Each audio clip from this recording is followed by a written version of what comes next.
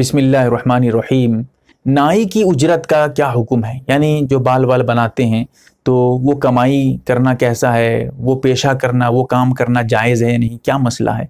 ज़रा समझिएगा इसको, जैसा कि किताब नवाजिल में जिल नंबर बारह सफ़ा नंबर चार सौ सतहत्तर पर तफसीलात मौजूद हैं। कुरान की आयत है ला तावनु वलवान इसी आयत को पेश नज़र रखते हुए ये मसला वाज तौर पे मैं आपके सामने पेश करता हूँ। ये आयत सुर मायदा में देख सकते हैं आप। सबसे पहली बात तो ये समझें, नाई अगर जायज़ काम कर रहा है, सर के बाल साफ़ करता है, मुड़ाता है, सर के बाल काटता है, या मोच ये जो है कतरवाता है, या फिर जो है दाढ़ी किसी की एक मुश्त हो चुकी है, उसके बाद जो एक मुश्त से जायद बाल हैं, वो काटता है तो फिर बिल्कुल जायज़ है।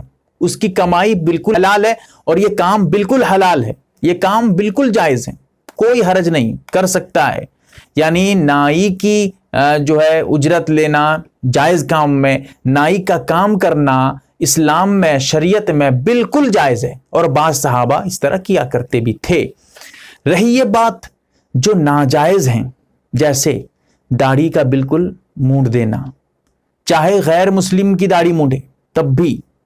और इसी तरह दाढ़ी एक मुश्त से पहले पहले कोई लाता है कि एक मुश्त अभी दाढ़ी हुई नहीं है, उससे पहले वो कतरवा देता है।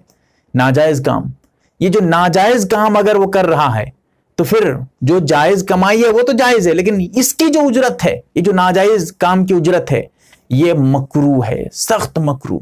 इसीलिए कोई दाढ़ी की साफ़ करने के लिए आए, दाढ़ी मुड़ने वाला आए, कह दे कि भाई ये नाजायज काम है। मैं नाजायज काम बिल्कुल नहीं करता। नाजायज काम में मैं बिल्कुल मदद नहीं कर सकता। कुरान ने कहा, गुनाह के कामों में मदद मत करो, इसीलिए मैं मदद नहीं कर सकता।